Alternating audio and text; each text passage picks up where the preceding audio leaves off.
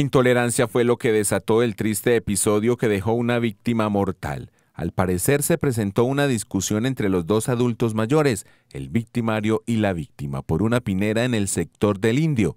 En medio del problema, uno de ellos atacó al otro con machete.